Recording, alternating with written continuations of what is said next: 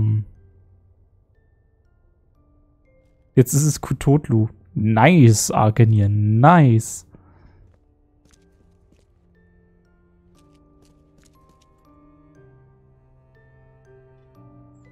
Wisst ihr, was mein Problem ist?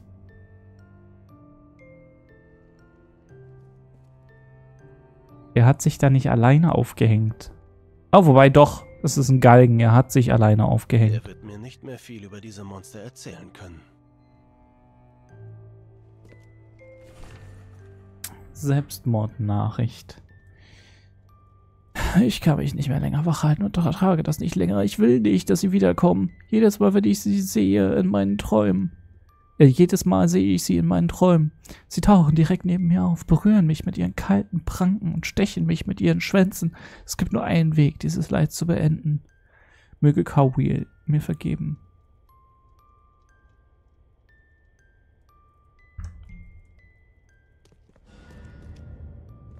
Alle Hinweise gefunden. Dann nichts wie weg hier.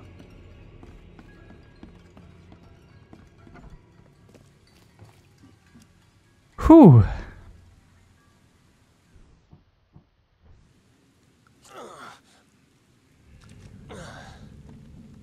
So, Retri fragt Starfield. Gut, schlecht, neutral, Meinungen dazu? Ich eigentlich noch gar nicht, muss ich zugeben. Also ich habe es mir so ein bisschen angeguckt und das sieht ganz witzig aus, aber ich glaube, es der Hype, den ich am Anfang hatte, dem wird es nicht gerecht. Was nicht heißt, dass es ein schlechtes Spiel sein muss. So, dann können wir jetzt zurück zum Onkel Doktor. Müssen wir nur noch einen Schnellreisepunkt organisieren.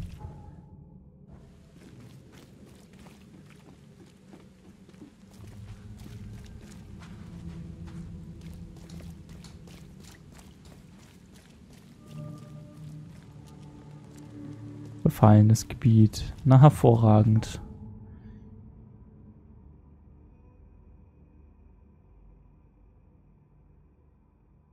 Ich wollte doch eigentlich nur zum Krankenhaus. Für Retri klingt es zu gut, um wahr zu sein. Die Frage ist ja, was, was ist das, was du von dem Spiel erwartest? Na? Ähm, es macht einige Dinge sehr gut macht andere Dinge halt nicht ganz so dolle.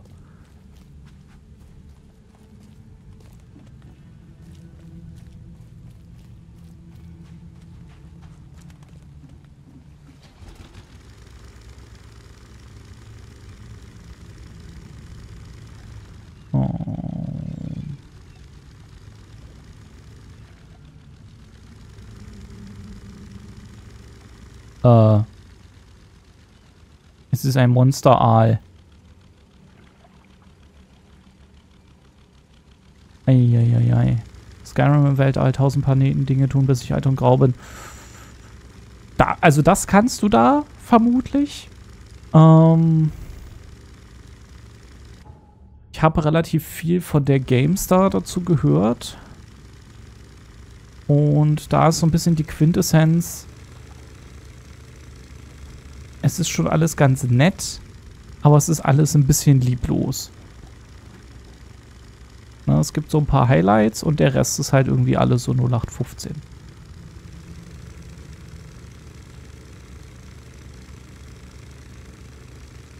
Was dich nicht davon abhalten soll, es zu spielen. Ich werde es definitiv auch spielen. Nur halt noch nicht jetzt. Ich bin jetzt privat erstmal noch dabei, jedes Quäntchen an Inhalt aus Baldur's Gate rauszuquetschen und ich vermute, das wird noch ein Weilchen dauern. Und dann sehen wir mal weiter.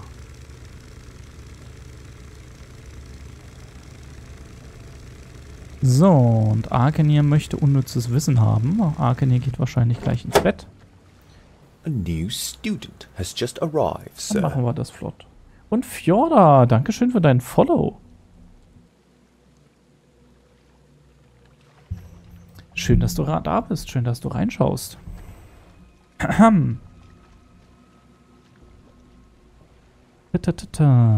Alle zehn europäischen Städte, in denen die meisten Autos gestohlen werden, liegen in Italien und England. Offensichtlich werden da eine Menge Autos geklaut.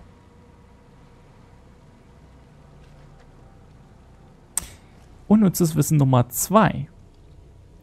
Eine Boeing 747 besteht aus über 6 Millionen Einzelteilen.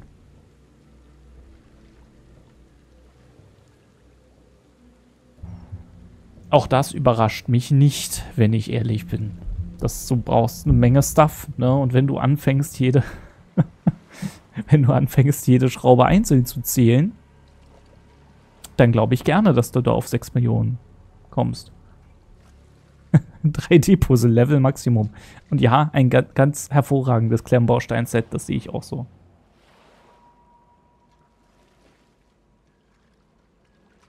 Da wird einem so schnell nicht langweilig.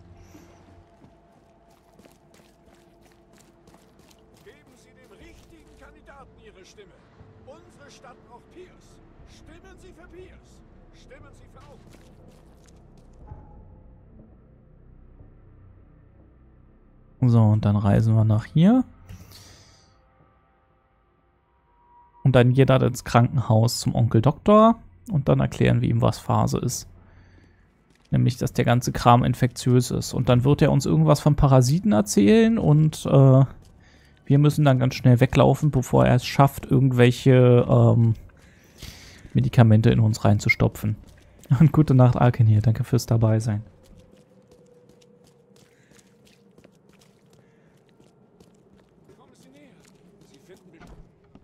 Hi. Ich war bei dem Patienten mit den seltsamen Träumen. Ich war im Laden Ihres Patienten. Leider hat er Selbstmord begangen. Tja, das überrascht mich nicht. Tut mir leid, dass ich damit Ihre Zeit verschwendet habe. Haben Sie nicht. Ich bin auf Hinweise gestoßen, die uns mehr über die Herkunft dieser Plagegeister verraten könnten. Professor Westerbrook hat für Sie die Bezeichnung stygische Schnitter gewählt. Auf was genau sind Sie gestoßen? Auf das Tagebuch ihres Patienten. Seine Träume wurden immer realer und setzten ihm stark zu. Deswegen versuchte er sich wach zu halten. Aber vergebens. Diese stygischen Schnitter tauchten neben ihm auf, während er schlief. Als wären sie seinen Albträumen entwichen. Ein übernatürliches Phänomen, eine Manifestation, muss schlimm für ihn gewesen sein. Ich fürchte, auch andere leiden unter derartigen Träumen.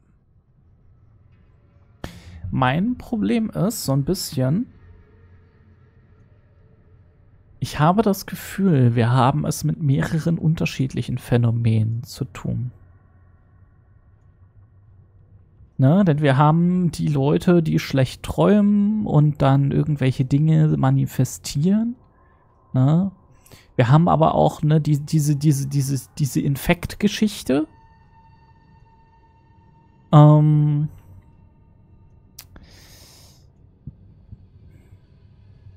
irgendwie, ich, ich habe, ne, wir haben, wir haben ja schon mehrere Hinweise darauf. Und das ist, also es gibt unterschiedliche alte und ich habe das Gefühl, hier sind mehrere am Werk. Safe ein Verwandter von Ingo Lenzen. Möglich, Eulenviech, möglich. Ich war zu Hause bei Jim Bells. Ist, hat Ingo Lenzen auch so einen Parasitentick? Ich war zu Hause bei ihrem Patienten, der sich in ein Monster verwandelt hat. Seiner Familie erging es nicht anders. Faszinierend. Konnten Sie herausfinden, wie es zu dieser Verwandlung gekommen war? Eine Kreatur gelangte aus dem überschwemmten Keller nach oben und steckte die Familie sozusagen an. Vermutlich mit der ausgespienen Substanz. Hm, wenn das stimmt, müssen wir das Haus unter Quarantäne stellen. Diese lithianischen Wiedergänger sind eine ernste Bedrohung. Eine ganze Epidemie würde die Stadt nicht überstehen. Wie nannten Sie diese Dinger? Lithianische Wiedergänger. Für die fantasievollen Namen dieser Kreaturen können Sie sich beim Universitätsprofessor bedanken. Für was ist der Professor? Für Literatur? Gibt es weitere Orte, die ich mir mal ansehen könnte? Ihre Forschungen sind interessant, Dr. Grant. Gibt es weitere Orte, die ich mir mal ansehen könnte? Ihr Engagement für die Wissenschaft ist löblich und Ihre Entdeckungen haben mir bei meinen Forschungen sehr geholfen. Danke. In der Tat gibt es noch zwei weitere Orte. Dieses Mal wird es allerdings gefährlicher. In einem Fall sind die Monster riesig, aber ich werde sie natürlich angemessen entlohnen. Äh, riesig? Erzählen Sie mir mehr? Erzählen Sie mir mehr darüber. Ich muss wissen, auf was ich mich da einlasse. Eines der größten Geschäfte von Oakmont wurde geschlossen, als die Flut kam. Ein Plünderer brach dort ein, wurde jedoch beim Plündern, äh, wie soll ich sagen, äh, unterbrochen. Ein riesiges Wildbeast ging auf ihn los und er schaffte es gerade noch aus dem Gebäude hinaus. Die Frage ist, wenn das Geschäft abgeschlossen war, wie kam diese Kreatur hinein? Und der Ort mit den nicht so riesigen Kreaturen? Erzählen Sie mir von dem Ort, an dem die Kreaturen hoffentlich weniger gefährlich sind. Es gibt hier in der Stadt ein Restaurant, das keinen besonders guten Ruf genießt, was nicht am Essen liegt, sondern daran, dass dort Frauen verschwinden. Die Polizei steht vor einem Rätsel. Der Lebensgefährte einer der vermissten Frauen war bei mir in Behandlung. Er traf schwer verletzt hier ein und erzählte mir von springenden Mäulern. Ich nehme an, er war auch in dem Restaurant? So ist es. Das Kuriose an der Sache ist, dass das Restaurant nach wie vor geöffnet hat. Bitte sehen Sie sich das mal an und bringen Sie den Grund für all das in Erfahrung. Ein Haufen Arbeit, Leute. Wiedersehen.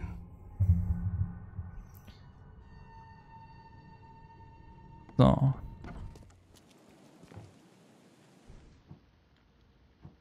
Ja, aber wir haben ein bisschen Kram bekommen. Das ist ja schon mal gut.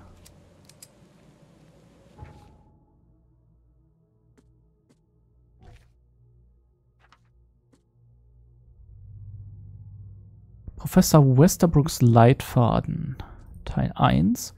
Erforschung der Oakmont Fauna nach der Flut von Professor E. Westerbrook, Universität von Oakmont. Teil 1. Stygia. Einheimische brachten mir mehrere Exemplare dieser Art, die laut ihren Aussagen bei ihnen zu Hause aufgetaucht waren. Alle Stygia verfügen über mehrere Gliedmaßen mit menschenähnlichen Händen. Sie sind resistent gegenüber Gift und Säure. Lediglich eine Art, der stygische Schnitter, ist aggressiv. Er verfügt über einen krallenartigen Stachel, der schlimme Verletzungen verursachen kann. Die am seltensten gesichtete Art der Stygia ist der sogenannte Raucher. Er stößt riesige Mengen Rauch aus und lauert dann darin auf seine Beute. Am faszinierendsten finde ich den stygischen Weber, da er das Gewebe anderer Wilder Biester wiederherstellen kann. Okay. Das könnte hier Mini-Cthulhu gewesen sein. Teil 2. Erforschung der Oakmonter Fauna nach der Flut von Professor A. Westerbrook, Universität von Oakmont, Teil 2, Lethianer. Lithianische Kreaturen ähneln Menschen. Nach zahlreichen Autopsien bin ich mir ziemlich sicher, dass Menschen aufgrund von Erregern zu diesem Monster mutieren. Die Blasen an Kör ihrem Körper erfüllen die Funktion zusätzlicher Herzen, die dafür sorgen, dass lymphatische Flüssigkeit voller Bakterien in den Magen des ehemaligen Menschen gelangen kann. Diese Flüssigkeit wird dann eruptionsartig ausgestoßen. Die bisher wenig erforschten lithianischen Unsterblichen regenerieren sich äußerst schnell und über die lethianischen Phantome gibt es Berichte, dass sie sich quasi in Luft auflösen können. Alles nur so mittelmäßig hilfreich. Okay. Restaurant Willow Lane zwischen Harold Street und Bullock Street. Östlich Reed Heights.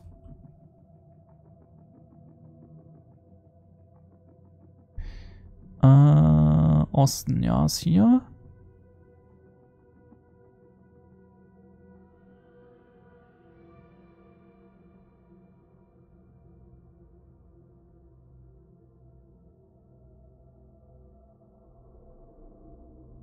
Da fehlt, um das Thema abzuschließen, hat wohl leider auch Release-Schwierigkeiten, die alle Spiele auf dem PC heutzutage haben. Ähm, du, du meinst performance-mäßig. Habe ich gehört. Ist aber wohl nicht bei allen so. Scheint nur spezi um spezifische Setups zu gehen, wenn ich das richtig verstanden habe. Hier ist die Willow Lane. Hier ist die Bullock Street und da ist die Harold Street. Okay, das heißt, wir wären hier ungefähr. Damit. Dann haben wir hier das Geschäft der Ward Street zwischen Bourbon Road und Sam Street.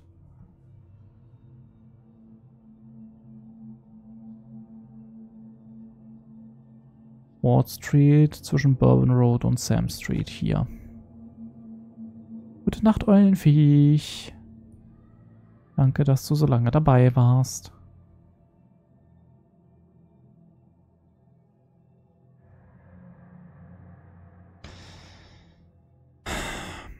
Ja, okay, aber ich würde sagen, wir machen erstmal wieder ein bisschen Hauptquest. For what is a gentleman? If not an effort to master the chaos that sweeps our world, an attempt to control death itself, if necessary. Retri schmeißt Eulenviech schnell noch ein Abo hinterher. vielen, vielen lieben Dank für den Support, Retri. Weiß ich sehr zu schätzen. Da sind wir dann schon wieder nur noch elf Abos von einem Skyrim-Stream entfernt. By the way, seht ihr mal. Ich glaube, ich habe das gar nicht erwähnt, ne? Ähm, ähm, in meinem Bereich im Eden Street Discord, wenn man ein Tickchen hochscrollt, gibt es eine Umfrage, ähm, ob wir eigentlich einen Wissenschaftler Starfield-Durchlauf brauchen. Könnt ihr euch gerne beteiligen. Ich habe da nicht so richtig ein Zeitlimit dran. Das war mir mehr so, ein, so eine Sache von, ich, mich würde das Stimmungsbild interessieren. Äh, genau. Fabrik für Taucherzubehör, C. Smith Avenue zwischen Levy Coffin Avenue, Deep Shore Road, Grimhaven Bay. Subnautica Wissenschaftsdurchlauf zum Warmmachen? Nee. Bei Subnautica bin ich raus. Mhm. C. Smith Avenue zwischen Levy Coffin und Deep Shore. Da. Das ist doch gut, da haben wir auch Schnellreisepunkte. Dann gehen wir doch da mal rüber.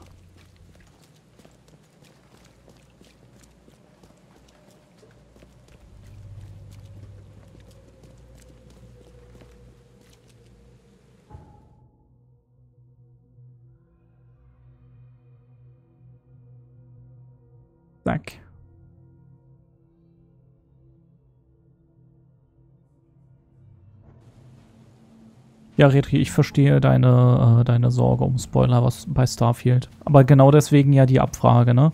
Das momentane Stimmungsbild ist deutlich, können wir gerne irgendwann machen, aber nicht jetzt. So. Das, das scheint dir, als würdest du dich da ganz gut einsortieren.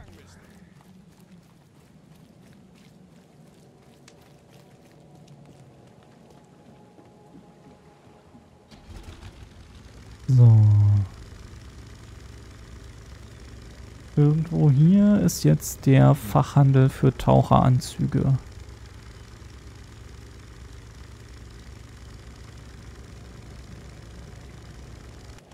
Ah, waren wir da nicht sogar schon? Ja. Oder nee, wir waren an einem ähnlichen Ort.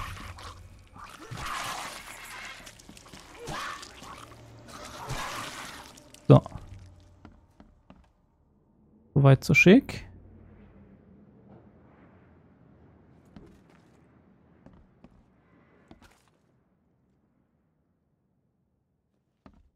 Auf GOG habe ich was anderes gesehen, was nach Sinking City eventuell was für für Hercule Poirot. Ja, den habe ich auch schon im Blick.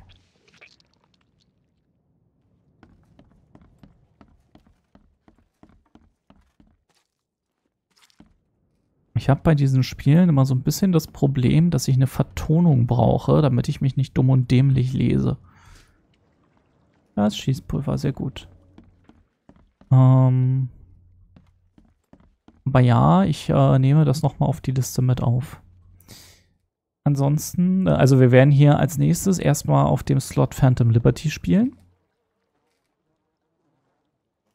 Hier ist der Taucheranzug. Mit diesem hier hätte ich nicht einmal für eine Minute Luft.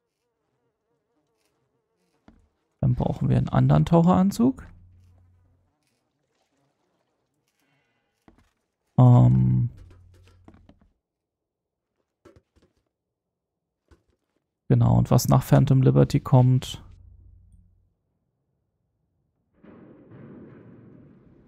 Mehr Schießpulver kann er nicht tragen. Naja, dann machen wir doch noch ein bisschen Munition.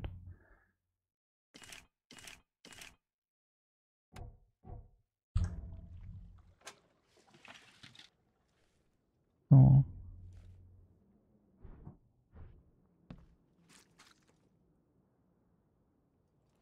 Und was danach kommt, können wir schauen. Ich habe auch noch Trey Gods, das ähm, Rollenspiel-Musical im Kopf, was ich eigentlich ganz spannend fände. In einem rostigen Taucheranzug riskiere ich sicher nicht mein Leben.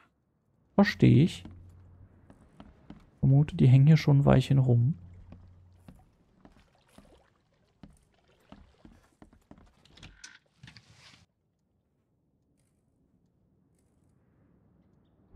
Records großartiges Konzept. Ja, ich finde die Idee auch hochgradig spannend. Ich weiß jetzt natürlich nicht, wie es umgesetzt ist. Aber grundsätzlich interessant ist es auf jeden Fall. Haben wir eigentlich einen neuen Wissenspunkt? Haben wir. Ähm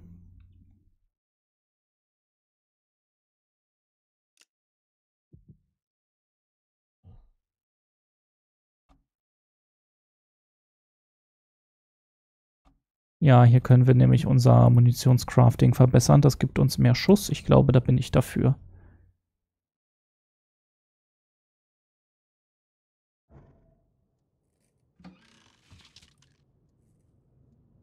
So. Mehr Munition. Ich bin ein Freund von mehr Munition.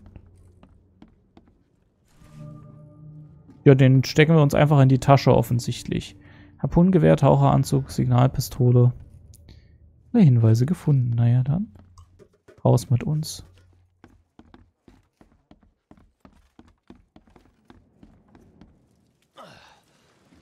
So.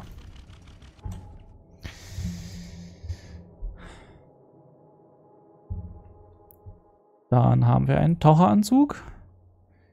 Letzter Tauchgang der Expedition erfolgte in der Nähe eines untermeerischen Felsenriffs, bekannt unter dem Namen Devil's Teeth. Die Stelle ist nicht weit von Oakmonter Hafen entfernt, aber die Koordinaten sollte mit dem Boot problemlos dorthin gelangen können.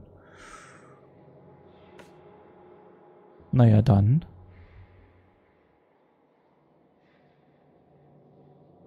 Und da haben wir dann jetzt ein Boot liegen. Willst du da echt alleine hinfahren? Ist schon bewusst, dass ein Tauchgang alleine eigentlich gegen jedwede Fortschriften ist. Fortschriften, Vorschriften. Ja. Wer Robert Mark Lehmann fünf Minuten zugehört hat, der weiß, dass man sowas immer mit einem Partner macht.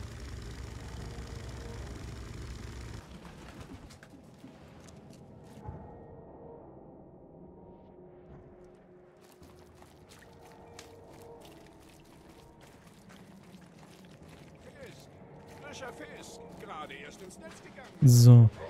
Gute Güte. Heute ist offensichtlich Raid-Mittwoch.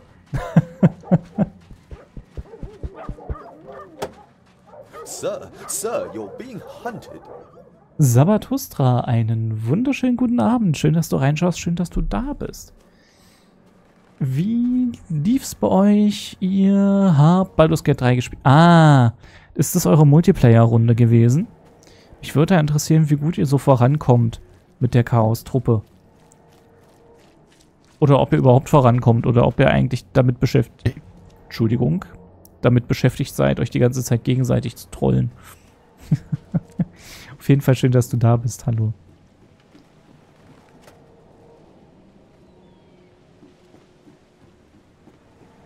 So.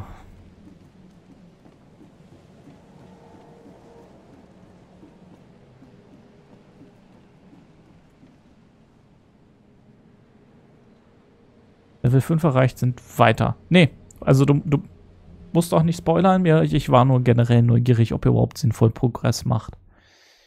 Okay, Ladesequenz. Und jetzt sind wir hier an diesem Riff offensichtlich. Okay. Aber das klingt doch schön. Freut mich. Dann, ähm,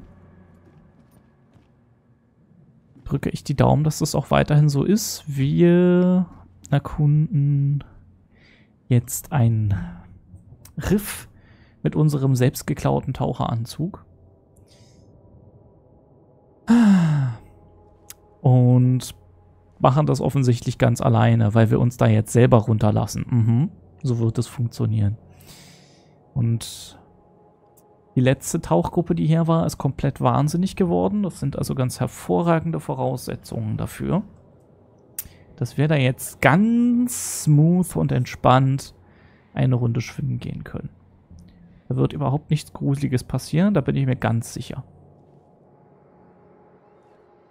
Nicht.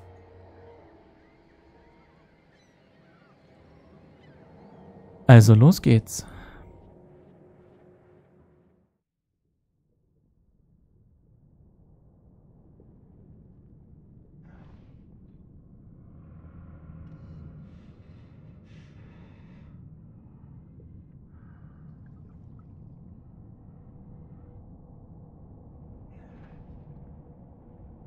Überhaupt nicht creepy oder so.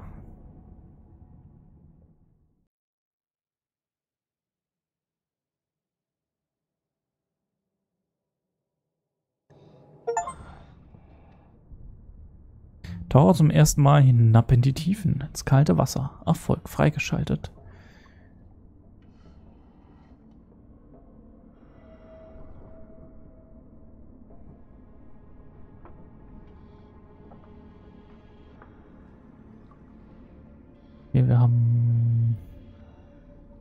Dingsy. Die chemischen Lampen sind fast leer, aber ich denke, ich kann ihnen noch folgen.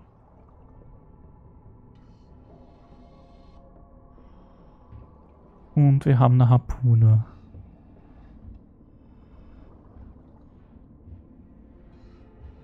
Die Form dieses Felsens ist nicht natürlichen Ursprungs. Ist das vielleicht eine Statue? Das ist doch wie die, die in der Stadt aufgetaucht sind.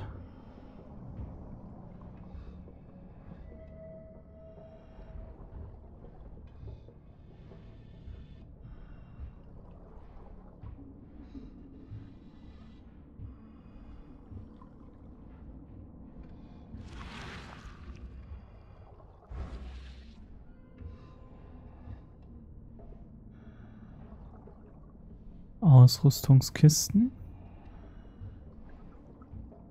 Ein kaputter Taucherhelm.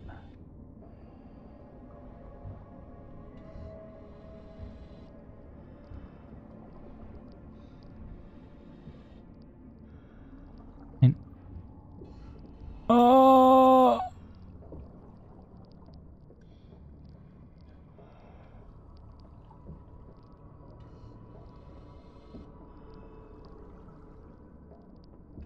Ihr seht das, oder?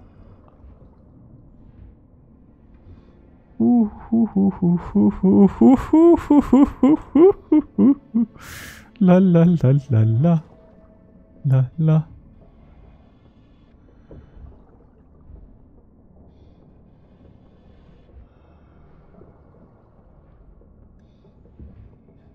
Scheiße, die sind da runter. Bin ich da runter?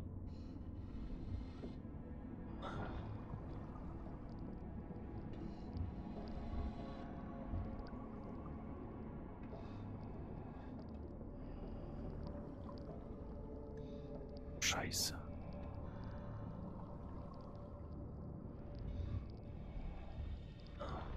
Einfach so, als hätte ich es nicht gesehen.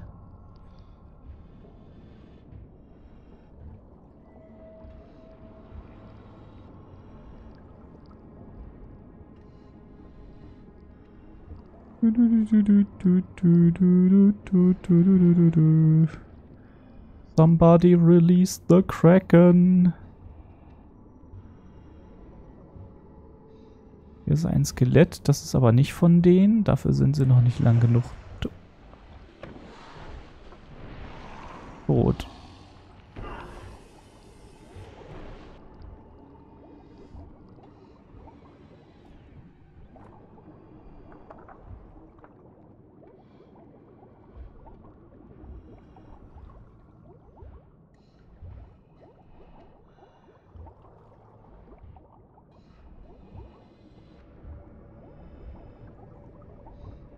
Gehen wir hier hin?